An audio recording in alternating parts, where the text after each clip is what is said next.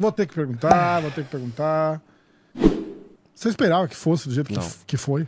Não, eu- assim, até a metade do round, eu esperava que sim, que ia ser aquilo que estava acontecendo. Eu não, não, não, não tava tendo muita Eu surpresa. fiquei, pre- eu fiquei preocupado a hora que ele, que, ele, que ele erra a queda É, e cai por sim. baixo. Ali eu falei, vai, Vai dar. dar merda. Mas, eu- mas uma coisa que eu achei bem. Cara, ó, Parrumpinha tá esperando pra entrar aqui pra falar com a gente. Mas eu queria só desenrolar isso daqui. Uma coisa que eu achei boa. Você viu o tanto que ele atacou Mesmo por baixo, né? na guarda? É, então, isso eu acho E- que é uma. E não de jiu-jitsu. Eu Sim, não tô. cotovelada. Isso eu acho que é uma coisa que ele mudou, provavelmente por conta do jogo Isso. contra o Mahashev, de ficar passivo por baixo e você dá a oportunidade do cara te bater ou te finalizar. Então ele quis Uhum. ficar incomodando, tipo, tanto é, procurando finalização, que ele procurou várias vezes, mas cotovelada, e a cotovelada machuca. Então o Dariush ainda assim foi pro ground and pound, porque o Dariush também é bom. Mas foi mais difícil de trabalhar ali. E aí, numa dessas de ficar atacando, o Dariush saiu e não conseguiu voltar a tempo, o Charles levantou e aí aconteceu o que aconteceu.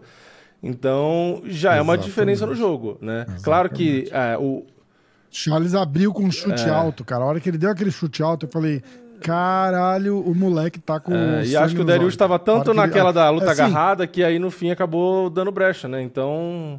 Cinco segundos de luta, ele acerta um chute alto no Dariush ali de cara já, que eu falei, É. caralho, cara, que muito foda. Muito foda. Ó, eu vou ligar pro Parrumpinha, eu quero ouvir o que que o Parrumpa vai, vai falar pra gente. Vamos ver. Ah, espera, espera mais um minuto. Espera, eu tinha falado pra ele cinco minutos, vou esperar mais um minuto. Mas olha, cara, é, foi, uma, foi uma boa surpresa, Sim. né? Foi uma, uma surpresa linda, né? De ver o, o que ele fez ali. Acho que nem o cara mais otimista esperava, né? Nem o cara É. mais otimista esperava.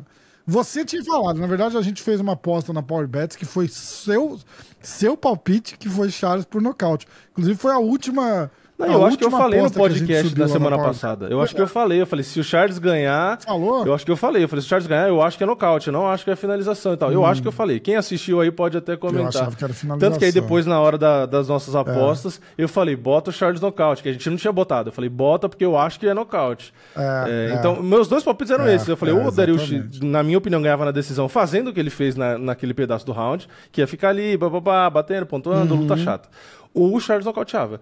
É, tanto é que o, o- você viu, o Dariush ficou grog e ele se embolou, mesmo o grog. Ele começou a se embolar no Charles. Aí o Charles parou É, de tentar caçar é, ele, é. porque ia demorar, e foi pra porrada, e que foi o certo, e nocauteou. Exatamente. É, exatamente, exatamente. Cara, um, um QI de luta impressionante.